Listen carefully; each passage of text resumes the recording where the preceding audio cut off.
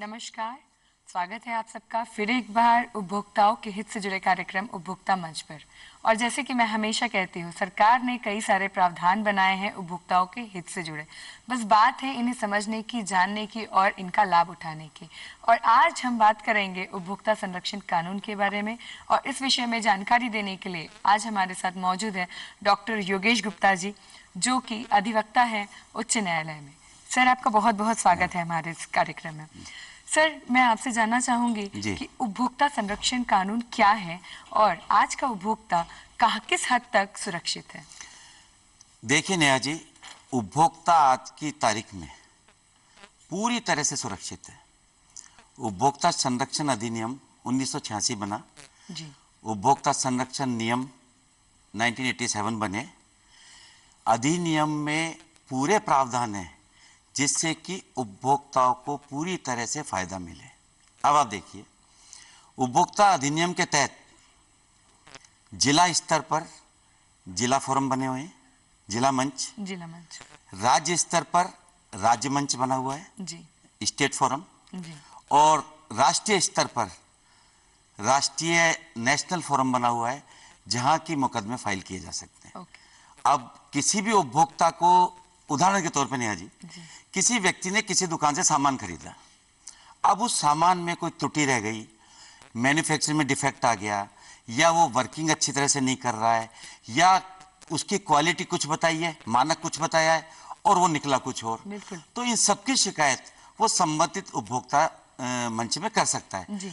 और उपभोक्ता में शिकायत करने पर तुरंत उस पर कार्रवाई होती है और कार्रवाई होने पे उसको प्रतिकर दिलवाया जाता है और अदर भी उसको रिलीफ मिलते हैं। तो उपभोक्ता आज की तारीख में पूरे तरह से सुरक्षित है, है, बस उपभोक्ता को केवल ये जानकारी होनी चाहिए कि उसे किस तरह से किस प्रक्रिया में चलना है और कहाँ जाना है। इसकी अगर जानकारी उपभोक्ता को है तो पूरी तरह से सुरक्षित है। जी। जी। सर मैं और जानना चाहूँगी आपसे कि कमर्शियल पर्पज से जो हम सामान खरीदते हैं तो उसे खरीदने के बाद हम किस हद तक मतलब किस अ, जी जी। मैं हाँ? मैं समझ गया आपकी बात को। देखिए अगर कमर्शियल उद्देश्य से कोई चीज़ खरीदी गई है तो कंज्यूमर एक्ट की परिभाषा में नहीं आएगा। नहीं आएगा। जी। कॉमर्शियल अगर उससे कोई खरीदा है ऐसी बात तो वो कमर्शियल में किसी भी तरह से कवर नहीं करता क्योंकि ये चीज़ कॉमर्शियल नहीं तो फिर क्या है कॉमर्शियल के हिसाब से तो इतने मुकदमे हो जाएँगे कि जी जी। असली जो कंज्यूमर है उसको बेनिफिट मिलने के बजाय उन लोगों को बेनिफिट मिलेगा जो कॉमर्शियल रूप से काम कर रहे हैं। तो इसमें उसको उस पर बैन लगाया गया है उस पर रोक लगाई गई है कि कॉम लेकिन अगर इस उद्देश्य से कोई चीज़ खरीदी गई है जो बेनिफिट वैसे पब्लिक के लिए तो उसमें वो मुकदमा दायर दायर किया। सर मुकदमा दायर करने की अवधि सामान्यतः क्या होती है? देखिए किसी व्यक्ति ने नेहा जी कहीं कोई सामान खरीदा जी। या उसको परेशानी हुई। उस परेशानी होने के बाद उसको पता लगा। उसके परे उसको प्रॉब्लम आने के बाद दो साल के अवधि के अंदर उसको मुकदमा जो मुकदमा का मतलब परिवाद कहलाता है ये शिकायत जो है। कंप्लेंट इंग्लिश में कहते हैं जी। उसे वो अ, मंच के सामने पेश कर सकता है और मंच में जब वो शिकायत पेश करेगा तो विपक्षी पार्टी को नोटिस जारी होते हैं। नोटिस जारी होकर उसको बुलाया जाता है नेहा जी। बुलाने के बाद उसमें जो। भी प्रक्रिया है शपथ पत्र वगैरह पेश करने के बाद जो भी साक्ष्य डॉक्यूमेंट्री होती है उसके बाद निर्णय किया जाता है। सर आप कोई इस तरह का मुकदमा हमारे व्यूअर्स को बताना हाँ बहुत सारे मुकदमे आज देखिए आप बहुत सारे ऐसे मुकदमे हैं कि लोगों ने कोई टीवी खरीदा टीवी डिफेक्टिव निकल गया। जी। उसमें उसको कंपनसेशन मिला। एक मामला में बताऊँ एक मामले में गैस एजेंसी ने घर पे जाके उसके और एट्टी रुपीज़ के चार्ज दो महीने बाद ही दोबारा लगा दिया जो चेक अच्छा, करते हैं उसको। और उसमें कंज्यूमर फोरम ने यहाँ जयपुर के कंज्यूमर फोरम ने फ़र्स्ट ने उसमें सात हज़ार रुपए का जुर्माना लगाया उस पर। कंपनसेशन दिया उसको। अस्सी रुपए के एवज में उसको सात हज़ार रुपए का मानसिक क्षतिपूर्ति वगैरह मिली। क्योंकि जब जबरन आप ये देखिए मान लीजिए टाइम लिमिट है। टाइम लिमिट में कोई गैस की चेक होना ठीक है। उसका पेमेंट लेना भी ठीक है। लेकिन आप टाइम लिमिट से पहले आकर और चुपचाप अस्सी रुपए ले रहे हैं जबरन ले रहे हैं नहीं तो सप्लाई रोक रहे हैं। तो ये सेवा देश की श्रेणी में आता है ऐसे मामले। और बहुत सारे मामले हैं। अभी एक मामला था जिसमें एक मिस्टर भंवरलाल जी थे। उनको जो अभी शायद यहीं सर्विस में है उनकी डाक स्पीड पोर्ट ने टाइम पे नहीं पहुंचाई। उनका परीक्षा रह गई। वो बाद में तो नौकरी में दूसरी में आ गए। लेकिन उस उनके में कंपनसेशन उनको पैंसठ हज़ार रुपए का कंपनसेशन यहीं के 65,000 कंज्यूमर हाँ। सिक्सटी फाइव थाउज़ेंड के रुपए कंपनसेशन दिलाया। बड़ा उपभोक्ताओं के लिए फ़ायदे का कानून है और उपभोक्ता बड़े आराम से इस कानून को प्रक्रिया को काम में ले सकते हैं और फ़ायदा उठा सकते हैं। बहुत बढ़िया चीज़ बताई सर आपने। सर एक और चीज़ मैं जानना चाहूँगी कि अ, जो उपभोक्ता है वो क्षतिपूर्ति की कि, किस अमाउंट तक का क्षतिपूर्ति का दावा कर सकता है? देखिए क्षतिपूर्ति का दावा तो कुछ भी किया जा सकता है। जी। वो तो उनके ऊपर इच्छा है कि उनकी मतलब पाँच रुपए की पेस्ट से लेकर के हाँ। तो कोई भी हो। लाखों रुपए हाँ, की चीज़ लेकिन जैसे कि एक व्यक्ति है जी। उस व्यक्ति को चाहे दस रुपए का नुकसान हुआ लेकिन वो कहता है साहब मुझे दस महीने से चक्कर काटता रहा मैं उस दुकानदार के वो मेरे को चक्कर दे रहा मैंने यहाँ शिकायत की वो की मानसिक क्षतिपूर्ति हुई। वो उसके ऊपर डिपेंड करता है। लेकिन मंच का मंच डिसाइड करते हैं कि ऑनरेबल मंच जो है क्या? वही डिसाइड करते हैं कि कितनी क्षतिपूर्ति उसको दी जाए और कितना उसको अवार्ड किया जाए वो मंच के ऊपर डिपेंड करता है। सर हमने कई बार ये भी देखा है कि जब हम शिकायत दर्ज करने जाते हैं तो हमें पहले इनिशियली हमें हमारी जेब से भी कुछ अमाउंट देना पड़ता है। तो आप इस बारे में कुछ बताना जी, चाहेंगे? बिल्कुल, बिल्कुल। क्योंकि ये डर हमारे व्यूअर्स को सबसे ज़्यादा हाँ, हाँ, सताता ये है कि हम अपने जेब से पैसे कैसे आपने नेहा जी बहुत अच्छा प्रश्न पूछा है क्योंकि ये जानकारी तो उपभोक्ता को होनी ही चाहिए। उनके मन में एक दिमाग में ये बात हो कि बहुत ज़्यादा खर्चा लगता है ऐसा नहीं है। लेकिन शुल्क तो है। बहुत नॉमिनल सा शुल्क बहुत नॉमिनल सा शुल्क रखा गया है। उस शुल्क में यह है कि जैसे मैं थोड़ा सा आपको बता दूँ कि जिला फोरम है। तो जिला फोरम में पाँच लाख जिला फोरम के अंदर बीस लाख रुपए तक के मामले जो हैं। वो सुनवाई हो सकते हैं। बीस लाख रुपए। तक का। कोई मैटर है वो जिला फोरम में जाएगा। एक करोड़ रुपए तक का मामला जो है स्टेट फोरम में जाएगा। और एक करोड़ से ऊपर का जो मामला होगा वो नेशनल फोरम में डायरेक्ट जाएगा। डायरेक्ट डायरेक्ट अगर इस लिमिटेशन में तो। बिल्कुल। इसके लिए एक फ़ीस तय की हुई है कि अगर एक लाख रुपए तक का मामला है हम्म हम्म। तो उसमें सौ रुपए है। पाँच लाख रुपए तक का मामला है तो उसमें दो सौ रुपए फ़ीस है केवल। और अगर दस लाख रुपए का तक का मामला है तो उसमें चार सौ रुपए है और बीस लाख रुपए तक का मामला है तो केवल पाँच सौ रुपए। सर ये तो फिर कुछ भी हाँ, nominal तरफ़ है। बिल्कुल। और और इसके ऊपर इससे state कम वाले हैं इससे कम मतलब एक लाख रुपए तक लगता का है। तो, अच्छा। लेकिन हाँ एक बात बता दूँ नेहा जी इसमें मैं बहुत स्पष्ट। अंत्योदय योजना के जो लोग हैं अंत्योदय? योजना है गवर्नमेंट की। अंत्योदय योजना या जो गरीबी रेखा से नीचे के लोग हैं। उन उपभोक्ताओं को मैं बताना चाहूँगा जो गरीबी रेखा से नीचे लोग हैं और जो अंत्योदय योजना के आते लोग हैं उनको एक लाख रुपए तक के मामले में किसी तरह का एक रुपए का कोई शुल्क नहीं है बिल्कुल फ्री है किसी तरह का कोई वो नहीं। बिल्कुल। जी। ये बहुत ही बढ़िया चीज़ बताई सर आपने। सर मैं आपसे ये भी जानना चाहूँगी कि आर्थिक क्षेत्राधिकार ये क्या है? जी जैसा मैंने अभी बताया आर्थिक क्षेत्राधिकार का मतलब यह है कि किस मंच को कितने रुपए तक की सुनवाई का अधिकार है? जी। तो जैसा मैंने पहले कहा कि जिला मंच है। हर डिस्ट्रिक्ट के अंदर हर डिस्ट्रिक्ट में डिस्ट्रिक्ट फोरम बने हुए हैं जिला मंच बने हुए हैं है ना? प्रतितोष अधिकारी कहलाते हैं। तो वहाँ जिला मंच को सुनवाई का अधिकार 20 लाख रुपए तक का कोई मैटर होगा मामला होगा तो वो जिला मंच में जाएगा। बीस लाख तक लाख रुपए तक तो जिला मंच डिस्ट्रिक्ट लेवल जी जी। जिला मंच बने हुए जैसे जयपुर में चार पाँच चार के करीब बने हुए हैं उन जिला मंच में जाएगा डायरेक्ट जी। और अगर 20 लाख से ऊपर का मामला है जी। और एक करोड़ तक का है जी।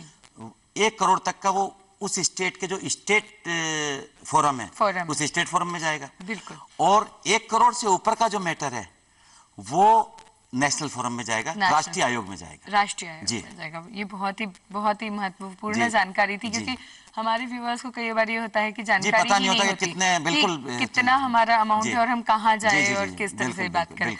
बिल्कुल, सर मैं और जानना चाहूँगी कि कई बार हमने ये भी देखा है कि फैसला आता है निर्णय आता है लेकिन उसके विरुद्ध अपील भी की जा सकती है। उससे क्योंकि कई बार सेटिस्फाइड भी आपने देखिए बहुत जनरल और अच्छा क्वेश्चन है लोगों को पता नहीं होता इस बारे में कि कोई फैसला आया? जी। देखिए अब दो बातें हुई एक तो किसी व्यक्ति का कंप्लेनेंट है परिवार है। बिल्कुल। उसका परिवार या तो नीचे नहीं हुआ या उसको कम क्षतिपूर्ति मिली। जी। वो सेटिस्फाइड नहीं है। या दूसरी अपोजिट पार्टी भी नहीं है। दोनों पार्टियों पर लागू होता है तो। तो निर्णय के तीस दिन के अंदर अंदर तीस दिन हाँ, के अंदर। डिसीज़न हुआ। बिल्कुल। निर्णय के तीस दिन के अंदर अंदर अगर जिला फोरम ने कोई फैसला किया है तो वो राज्य में जाएगा। जी। वो फैसला कहाँ जाएगा? राज्य आयोग में। बिल्कुल बिल्कुल। राज्य आयोग ने जो कोई फैसला किया है उसकी अगर अपील करनी है तो वो राज्य आयोग की अपील राष्ट्रीय आयोग में जाएगी। जी, जी। जैसे कि वो- हम वो भी 30 दिन में। नॉर्मल हमारा केस करते हैं तो हाई कोर्ट सुप्रीम हाँ, कोर्ट इसमें इस तरह, इसमें इस तरह का हाँ एक तरह जैसे अगर देखा जाए। हायर की बनी हुई है। जैसे नीचे कोर्ट्स हैं फिर इसके ऊपर हाई कोर्ट है फिर अपर कोर्ट है सेशन जी। क्या नाम अपर सुप्रीम कोर्ट है। तो लेकिन इसमें कंज्यूमर फोरम में थोड़ा सा अलग है कि डिस्ट्रिक्ट फोरम से सीधा स्टेट फोरम में अपील और स्टेट फोरम के बाद अपील जो है नेशनल फोरम में जाएगी राष्ट्रीय मंच में। और अगर राष्ट्रीय मंच के फैसले से सेटिस्फाइड नहीं है कोई भी पार्टी तो उसकी अपील सीधी सुप्रीम कोर्ट में जाएगी। फिर माननीय उच्च न्यायालय उस मामले को सुनता है उसके अलावा कोई कोर्ट को क्षे- क्षेत्राधिकार सुनवाई का नहीं। नहीं है। सर और कई बार ये भी देखा देखने में आता है कि कोई निर्णय हो गया है उसको अमाउंट आपको देना लागू हो जाता है। लेकिन वो कई व्यक्ति ऐसे होते हैं जो नहीं देते हैं मुकर जाते हैं। तो उनके लिए क्या प्रावधान बनाए गए हैं? देखिए इसके लिए भी एक्ट में प्रावधान बना हुआ है कि देखिए होता क्या है नेहा जी? एक थोड़ा समय तो लगता ही है कोई भी मंच में शिकायत गई बिल्कुल है लगता है। नोटिस जारी होते हैं मैंने पहले भी कहा नोटिस जारी होने के बाद उस पार्टी को उपस्थित होना पड़ता है। पक्षकार जब उपस्थित हो जाता है फिर उसका जवाब लिया जाता है। क्योंकि एक नेचुरल जस्टिस है और नियम भी है कि उसका जवाब तो पूछा जाए भाई आप क्या कहना चाहते हैं? क्योंकि यहाँ कोई जैसे मैन्युफैक्चरिंग डिफेक्ट है। तो अब दुकानदार है उसका दोष जितना है उससे ज़्यादा जिसने बनाया है निर्माता है उसका भी दोष ज़्यादा है ना? तो दोनों को पक्षकार बनाया जाता है। तो उनसे जवाब लिया जाता है कि भाई आप बताइए ऐसी क्या प्रॉब्लम है इस प्रोडक्ट के अंदर? या आपने कोई टैक्सी किराए पे ली या और कोई काम पे ली कोई भी चीज़ ली तो ये इस परव्यू में आ रहा है तो उससे जवाब लेने के बाद जो भी रिटर्न डॉक्यूमेंट्स एफिडेविट वगैरह शपथ पत्र लेके इसका डिसीज़न किया जाता है। डिसीज़न करने के बाद या तो कई पार्टीज़ तो ऐसी होती है कि डिसीज़न निर्णय जैसे ही हो जाता है वो निर्णय के अनुसार उसकी कंप्लाइंस करने के लिए उसको पेमेंट कर देती है भुगतान कर देती जो भी कोर्ट का आदेश है जो भी मंच का आदेश है उसकी कंप्लाइंस कर देते हैं। लेकिन कई बार ऐसा होता है कि या तो एक पक्षीय केस हो गया एक पक्षीय का मतलब कि दूसरी पार्टी सर्विस होने के बाद भी मंच के सामने उपस्थित नहीं हुई। तो एक्स पार्टी हो गया उसका। अब एक्स पार्टी में उसका निर्णय हुआ तो निर्णय की कॉपी भी भेज दी उसने ध्यान नहीं दिया। या निर्णय में प्रेजेंट भी हो रहा है और प्रेजेंट होने के साथ साथ वो उस निर्णय के ऊपर ज़्यादा ध्यान नहीं दे रहा। तो दो तरह तरीके हैं इसमें। जी। एक तो उसकी प्रॉपर्टी जो है उसकी संपत्ति है। जी। जो भी उसकी जो जिसके खिलाफ ऑर्डर हुआ है उसकी संपत्ति को कुर्क अटैच किया जा सकता है। कुर्क मतलब कुर्क का मतलब आप जनरल भाषा में समझे उस संपत्ति को अटैच कर लिया जाता है। संपत्ति को अपने कब्जे में ले लिया कब्जा है। मतलब अगर इमूवेबल है तो उस पर वैसे कब्जा ले ले और। मूवेबल है तो उसको कब्जा। अब उसके बाद उसकी सेल करके उसका विक्रय करके जो राशि क्षतिपूर्ति की या जो भी राशि है वो परिवादी को दिलवाई जाती है। बराबर। जितनी भी राशि बनती है अब मान लीजिए ज़्यादा हुआ तो तो उसको वापस लौटा देंगे पैसे खर्चे वगैरह काट के और बाकी उस परिवादी को लौटा देंगे। जी। अब कई बार एक बड़ा वो क्वेश्चन आता है कि प्रॉपर्टी नहीं होती और ढूंढते रहो साहब कोई प्रॉपर्टी का पता हाँ, नहीं चलता। ये बिल्कुल बहुत बड़ा बात आ जाती है कि बैंक अकाउंट वगैरह नहीं मिलता और कई बातें नहीं होती बड़ी परेशानी का सामना करना पड़ता है। तो उसका फिर सीधा रास्ता है जेल। जेल। हाँ तो ऐसे व्यक्ति को तीन साल तक के लिए जेल भेजा जा सकता है। तीन साल। तीन साल तक का कारावास की सजा का प्रावधान है और इसमें मिनिमम सजा। मिनिमम हाँ मिनिमम एक महीने तो देनी ही होगी। अच्छा एक मैंडेटरी महीना तो मैंडेटरी वन मंथ हाँ ये नहीं कि एक दिन की सजा से काम चल ना। जी, एक महीना मैंडेटरी के उसको एक महीने की सजा तो देनी पड़ेगी। देनी पड़ेगी। और इसके साथ साथ दस हज़ार रुपए तक जुर्माना दस हज़ार तक। भी कर सकते हैं।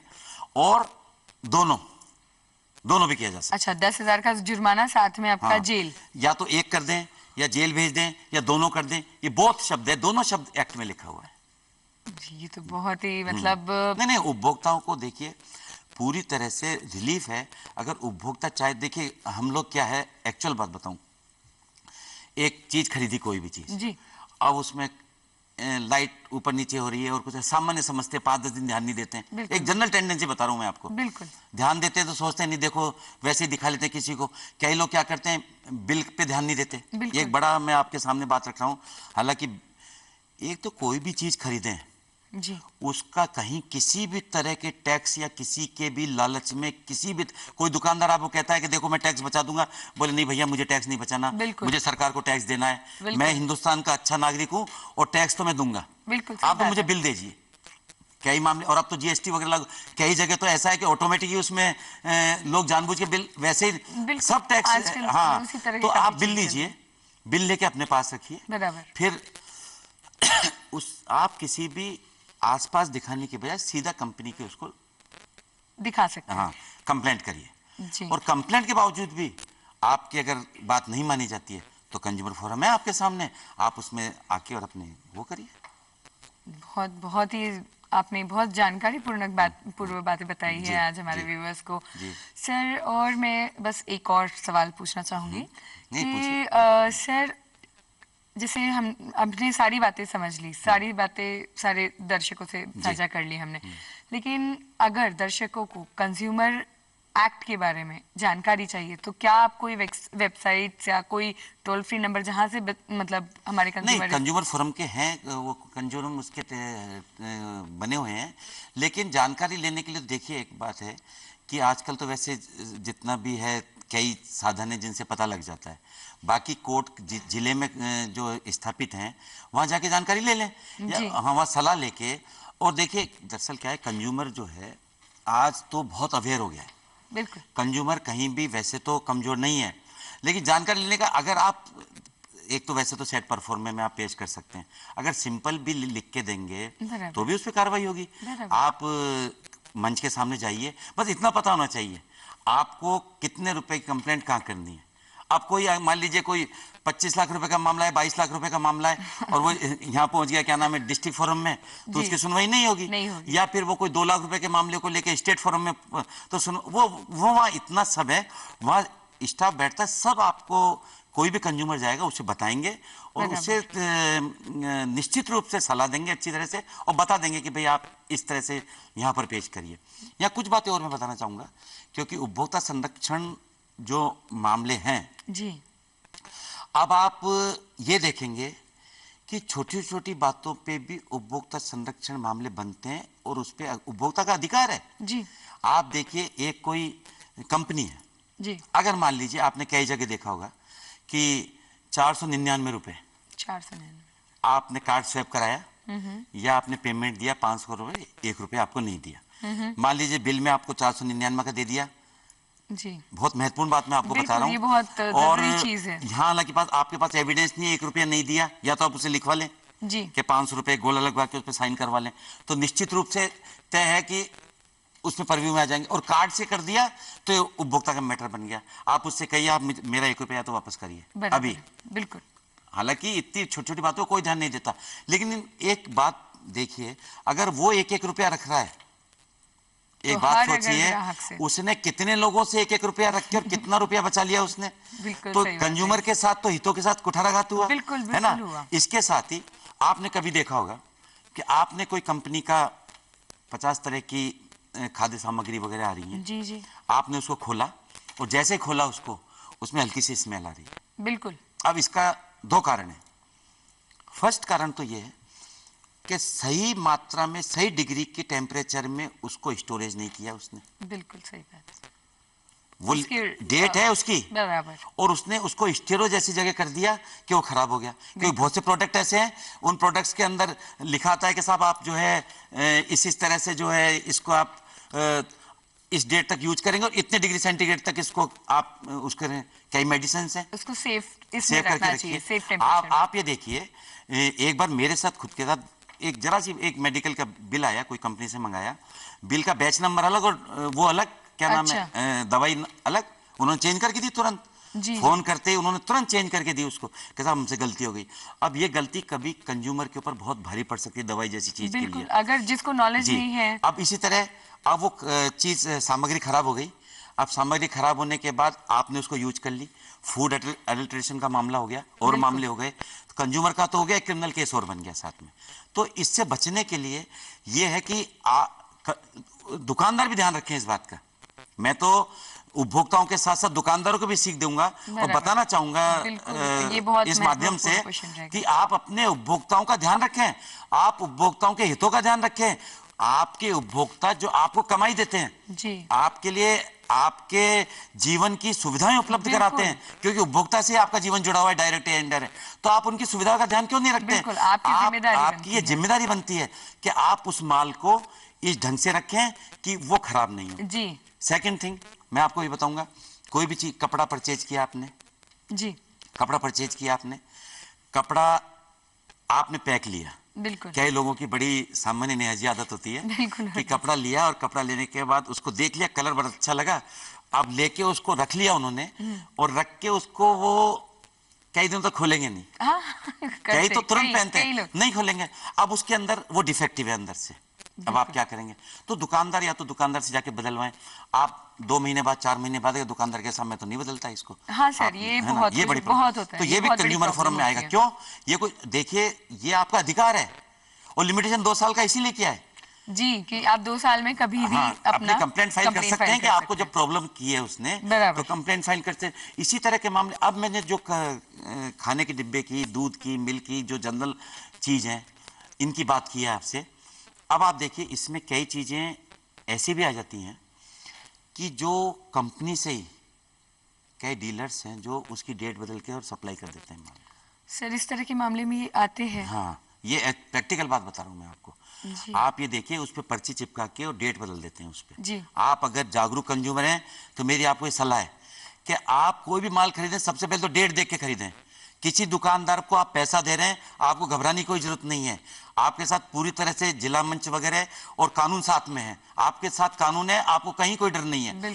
तो आप देखें डेट अगर डेट महीने पाँच दिन भी निकले आप उसको कहें मेरे को दूसरा सामान दीजिए। बिल्कुल। दूसरी बात उस पर कोई पर्ची दूसरी लगी हुई है तो आपका अधिकार है उस पर्ची को हटा के देखें और पर्ची को हटा के देख के अगर उसमें डेट गलत है तो आप तुरंत उसको दे दें कि साहब मैं ये सामान नहीं लूँगा। और गलती से आप ले आए तो आप उसको रिटर्न कर दें बिल साथ में रखें। आपको कोई परेशानी नहीं आएगी बिल्कुल बहुत ज़रूरी चीज़ है ये बहुत ज़्यादा ज़रूरी चीज़ है क्योंकि इस तरह के मामले काफ़ी देखने में आते हैं। हम लोग कई बार हम जाते हैं हमारा सामान बदलने लेकिन दुकान वाला साफ़ क्लियर मना कर बिल्कुल। देता है। तो बिल्कुल अगर ऐसी बात है तो आप खुद भी नोटिस दे सकते हैं लीगल नोटिस भी दे सकते हैं उसको नोटिस दीजिए कि भैया इस तरह से मामला है आप इस तरह से करें आपको ये सब खर्चा आपको कंपनसेशन वो देना पड़ेगा आप मान अच्छा दुकानदार होगा तो तुरंत बदलेगा उसको। जी। और एक वो भी अगर वो साफ़ मना करते कईयों मतलब बहुत बार होता है। कईयों बार भी नहीं कहेंगे जी, इसे। कि वो साफ़ कह देते हैं मैम आप दो महीने बाद लेके आए हैं चार महीने बाद लेके आए हैं हम तीन महीने बाद नहीं बदलते। या फिर वो अपने वहाँ पे पहले ही लगा रखते हैं कि सामान बदली नहीं करेंगे। तो ये कहाँ तक वाजिब है? देखिए बहुत अच्छा प्रश्न ये भी आपने पूछा। अगर उन्होंने कोई नियम बना दिया जी। तो नियम के एक दिन बाद बद, नहीं बदला जा सकेगा कोई मैंडेटरी नियम नहीं है। कि ये उनका कानून कानून के सामने वो कुछ नहीं है। उनका नियम ये, ये बनाया हुआ कानून personal हाँ, ये उनका पर्सनल है। पर्सनल नियम है कानून नहीं कहूँगा उसका पर्सनल नियम, नियम है। है। अगर ऐसा कोई नियम कोई बनाता है अगर एक व्यक्ति ने कोई चीज़ है एक कोई भी चीज़ ले गया और उसने सात दिन बाद उसको खोला और सात दिन वो डिफेक्टेड अंदर उसमें कोई गलत चीज़ निकल गई तो कंज्यूमर का अधिकार है कि वो जाके उसको बदलवाए। और नहीं तो उसको कंप्लेंट ऑनलाइन शॉपिंग करते हैं। जी। तो इसमें भी वो प्रावधान आ जाते हैं। बिल्कुल आएँगे ऑनलाइन शॉपिंग ऑनलाइन ट्रांजेक्शन क्योंकि उसका बिल आता है साथ में। जी। ऑनलाइन का भी बिल आता है और ऑनलाइन का तो वैसे भी ज़्यादातर पेमेंट वगैरह सब ऑन रिकॉर्ड होता है कोई दिक्कत ही नहीं। किसी भी तरह से आप पर देखिए क्या है दो तीन चीज़ बात है। किसी भी तरह का कोई उपभोक्ता संदाय करे संदाय करे। संदाय का मतलब मनी दे या कुछ भी करे या उसका वचन दे दे। एक्ट में ऐसा लिखा हुआ है। तो उस स्थिति में उपभोक्ता संरक्षण कानून के अंदर वो कवर कर जाएगा। उपभोक्ता संरक्षण कानून के अंदर? वो उपभोक्ता बन जाएगा। लेकिन अगर ऐसी स्थिति नहीं है तो वो उपभोक्ता जैसे अगर मैं ये व्यक्ति गया और गिफ्ट में किसी ने कोई चीज़ दे दी उसको। लेकिन अगर पैसा लेके कोई गिफ्ट दिए साथ में जी। तो वो उपभोक्ता कानून में आएगी। पैसा लेके कोई हाँ, गिफ्ट दिया है तो? अगर पैसा दिया है ट्रांजेक्शन हुआ है तो फिर वो उपभोक्ता कानून के अंदर चीज़ आएगी। आएँगे। सर ये तो बहुत सारी नहीं, नई नई बातें। देखिए जनरल आज उपभोक्ता को जागरूक करने के लिए ये ज़रूरी है और इन बातों से उपभोक्ता में एक अंदर ताकत भी मिलती है और जो उपभोक्ता ये सोच रहे हैं कि आज भी देखिए जो प्रोग्राम देख रहे होंगे जी। उनमें से भूख उपभोक्ता ये सोचेंगे आज वो इस बात के लिए तैयार होंगे कि मेरा ये अधिकार है और इस अधिकार के लिए मैं लड़ूँगा और आगे बढ़ूँगा बिल्कुल और मैं हम हम सभी इस प्रोग्राम की तरफ़ से आशा करते हैं हमारे दर्शकों से कि आज का जो हमारा कार्यक्रम रहा है वो काफ़ी एनर्जेटिक तो था ही था। जी, जी, जी। साथ ही साथ बहुत नॉलेजेबल रहा है। फिर एक बार मैं सर आपका बहुत बहुत धन्यवाद करना चाहूँगी। बहुत-बहुत आपने बहुत ज़्यादा ज्ञान पूर्वक बातें बताई। है और जैसे मैं हमेशा कहती हूँ जागरूक आपको होना है आपको समझना है हमने मंच दिया है और इसी आशा के साथ कि आप जागरूक होंगे। मैं नेहा आपसे विदा लेती हूँ। नमस्कार।